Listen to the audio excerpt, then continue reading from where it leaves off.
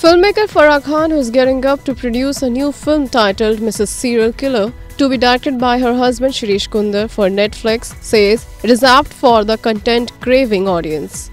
Farah said in a statement, Though it's too soon to delve into details, Mrs. Serial Killer will definitely cater to our strong content craving audience not just in India but overseas. The story is the heart of the series, and we are confident it will travel across the world. At an, in 2016, Kunder made an 18 minute short film, Kriti, which featured Manoj Bajpayee, Radhika Apte, and Neha Sharma.